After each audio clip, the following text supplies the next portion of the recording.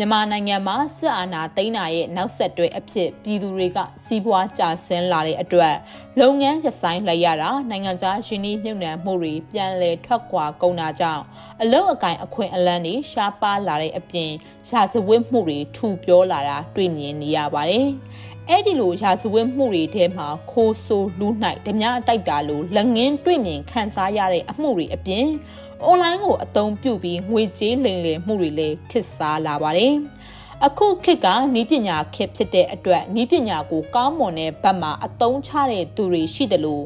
ရိုးအသူတွေစီကနေငွေကြေးလိမ်ညာယူဖို့အသုံးချသူတွေလည်းပေါ်လာပါတယ်။ခစ်စားခဲ့တဲ့အခုထိလည်းခစ်စားနေစေဖြစ်တဲ့ online ကိုအသုံးပြုပြီးလိန်ညာနည်းတစ်ခုကတော့ နိုင်ငံခြားသားအယောင်ဆောင် smart ကြကြဓာတ်ပုံတွေ Facebook ပေါ်မှာတင်ထားပြီးလူတွေကိုချင်းကပ်တာဖြစ်ပါတယ်။ရိုးသားပြီးငွေကြေးချမ်းသာမယ်လို့ယူဆရသူတွေကိုဘာသာရေးလိုက်စားရင်ဘာသာရေးအကြောင်းပညာရေးပရဟိတစတဲ့သူတို့ချင်းကပ်တဲ့သူတွေကိုလုံလေရှိတဲ့ဝါသနာပါတဲ့အကြောင်းအရာတွေပြောပြီးခင်အောင်အရှင်စူးစမ်းပါတယ်။ခင်သွားတော့မှမင်းကိုလက်ဆောင်ပေးခြင်းလို့နိုင်ငံခြားကနေဘာပို့ပေးမယ်ငွေဘလောက်ပို့ပေးမယ်ဆိုတာအရှင်ပြောတယ်။တစ်ဖက်သားကကြည်နဲ့ပျော်ရွှင်သွားတဲ့အချိန်မှ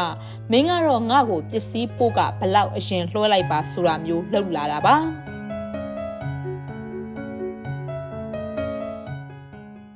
အဲ့ဒီမှာအလိန်ခံရမဲ့သားကောင်အဖြစ်ကလွတ်မြောက်သူတွေရှိတယ်လို့တချို့လည်းငွေကြေးဆုံးရှုံးသွားတာတွေကြားသိရပါတယ်။ဒါကငွေကြေးဆုံးရှုံးခဲ့ရင်တော့တိတ်မြများဆဆမရှိပါဘူး။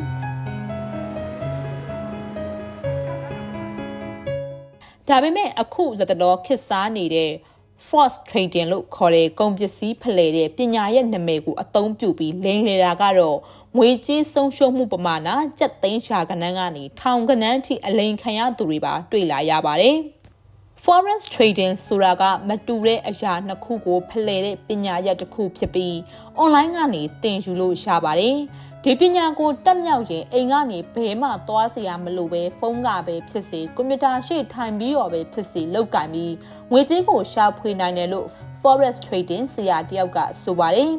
ဒီပညာရက်ကိုတည်တည်ချာချာသင်ယူပြီးကိုယ်တိုင်လောက်ကင်တဲ့အတွက်ငွေကြေးကိုရိုးသားရှာဖွေနိုင်သူတွေရှိတယ်လို့ဒီပညာရက်ကိုခေါင်းစဉ်တက်ပြီးကုမ္ပဏီနာမည်တစ်ခုခုနဲ့လိမ်ညာသွားသူတွေလည်းများလာပါတယ်။စစ်ကောင်စီလက်ထက်အလုံးအကင်အခွင့်အလမ်းတွေရှားပါလာတာကုန်စည်နှုန်းတွေကြီးမြင့်လာတာကြောင့်မြန်မာပြည်သူတွေဟာကိုယ်မှာရှိတဲ့ငွေကလေးကိုကုမ္ပဏီတစ်ခုခုစီးပွားရေးလုပ်ငန်းတစ်ခုခုမှာယင်းနှိမ့်မြုပ်နှံကြဖို့စိတ်ဝင်စားလာကြပါတယ်။ ဒီလိုရင်းနှီးမြုပ်နှံဖို့စိတ်ဝင်စားလာတဲ့သူတွေဟာလိန်ညာသူတွေအတွက်ပြစ်မှတ်ဖြစ်လာပါတယ်။တချို့သောသူတွေဟာဘာမှလုပ်เสียမလိုပဲလဆင်ငွေရမယ်ဗန်ထက်လဲအတိုးများတဲ့စတဲ့မလုံးတွေပေးအယုံသွင်းတာတွေကြောင့်တသက်လုံးပင်ပင်မမတ်ရှာဖွေထားတဲ့ငွေကြေးတွေအလိန်ခံရပါတယ်တချို့လိန်ညာတဲ့သူတွေကြတော့ရင်းနှီးမြုပ်နှံသူတွေယုံကြည်အောင်ငွေစထဲ့တဲ့တစ်လနှစ်လလောက်အတိုးပေးပြီးရင်းနှီးသူတွေများလာမှအပြောက်ရိုက်လိုက်ကြတာပါ အလိန်ခံရသူအများစုဟာသူတို့အလိန်ခံရကြောင်းကိုပွန့်ပွန့်လင်းလင်းထုတ်ဖော်ပြောကြားခြင်းမရှိတာနောက်လူတွေအလိန်မခံရအောင်တည်တည်ချာချာဖွင့်ချတာမျိုးမလုပ်တာတွေကြောင့်အလိန်ခံရသူတွေကပိုများလာတာဖြစ်ပါတယ်။မကြသေးခင်ကပဲရန်ကုန်တိုင်း investment နာမည်ရှိတဲ့ရင်းနှီးမြှုပ်နှံမှုလုပ်ငန်းတစ်ခုကသူ့စီမှာငွေကြေးရင်းနှီးမြှုပ်နှံထားသူ900ကျော်စီကနေ ကျပ်သိန်း9000နီးပါးကိုလိန်ညာယူသွားတယ်ဆိုတဲ့သတင်းတွေထွက်လာပါတယ်။အလားတူပဲနိုဝင်ဘာလအတွင်းက Capital FX လို့နာမည်ပေးထားတဲ့ Forest Trade Company တခုကရခိုင်မှာရှိတဲ့လူပေါင်းများစွာကိုလိမ်လည်ခဲ့တယ်လို့သိရပါတယ်။ ဒီလိုဖြစ်ရပ်တွေဖြစ်နေတာဟာအလိန်ခံရသူတွေအနေနဲ့ရှိုးအားလွန်တာဗဟုတုတမရှိပဲအယုံလွဲတာအတိုးဘလောက်ရမယ်ဆိုတဲ့အပေါ်မှာလောဘစိတ်ဝင်မိရကြောင်းဖြစ်ပါတယ်။တသက်လုံးရိုးသားရှာဖွေခဲ့တဲ့ချွေးနှဲစာငွေကြေးလေးတွေအချိန်တိုတွင်အလိန်ခံလိုက်ရတဲ့အတွက် ခံစားရသူတွေအနေနဲ့ဘလောက်အထိစိတ်ဆင်းရဲရမယ်ဆိုတာတွေးကြည့်လို့ရပါတယ်။ဒီလိုမျိုးအလိန်ခံရတာမျိုးတွေမဖြစ်အောင်ပြည်သူတွေအနေနဲ့သတိထားဆင်ခြင်ပြီးအယုံမလွယ်ဘူး။ဘာမှလုပ်เสียမလို့ပဲငွေရမယ်ဆိုတဲ့ရင်းနှီးမြှုပ်နှံမှုတွေတဲမှာကိုယ့်ရဲ့ငွေကြေးကိုမထည့်ဝင်မိဖို့ငွေအလိန်ခံရပြီးသားသူတွေအနေနဲ့လည်းတခြားသူတွေသိအောင်ပွန့်ပွန့်လင်းလင်းဖွင့်ချဖို့နဲ့